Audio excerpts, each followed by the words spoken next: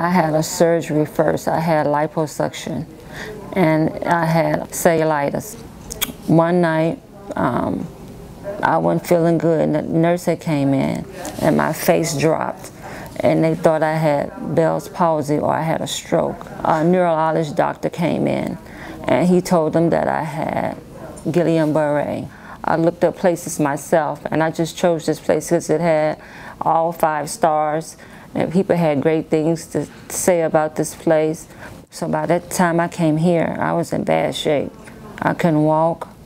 This part was weak, my arms was weak.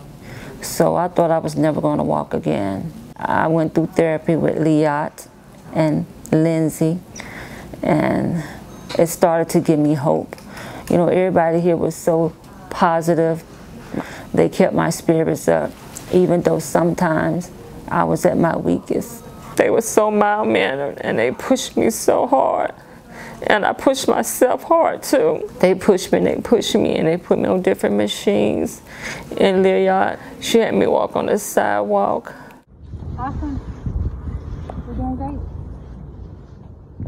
Her goal, she thought I would only walk 50 feet, but now I walk 900. When I first came here, I couldn't walk, but you see me now, I can walk.